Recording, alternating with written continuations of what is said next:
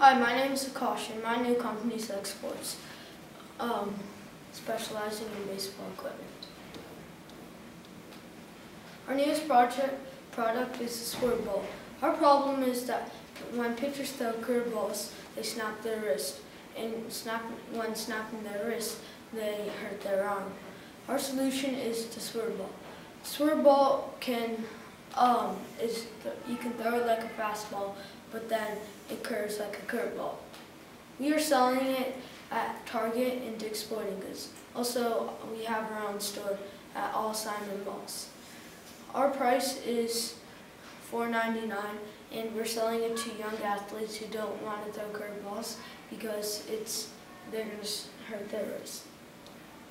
Our competitors um, is Blitzball. But Blitzball sells it in packs of four, and they are real baseballs. So you can only have fun with the balls. We project the um, Swerve ball is going to be a big hit. We will start making 1,500. We will we will give 500 each to Target and Dick's Sporting Goods. We will also keep 500 to sell at our locations. Our projection is that we make seven, we earn 7,500 a month.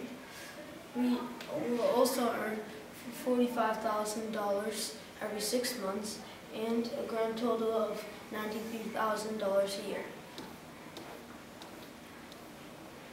I'm the CEO of the company and this is my resume.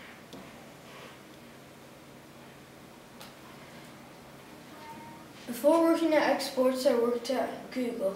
I used JavaScript to program and invented the Google Classroom. After working at Google, I worked um, in Facebook and I used R to program and create invented Instagram. My education um, first started in Carnegie Mellon University as a software engineer for two years. Then I went to business school at Harvard for another two years.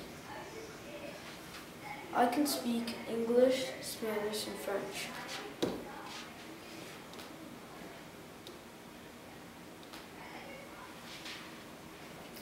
Thank you for watching my presentation.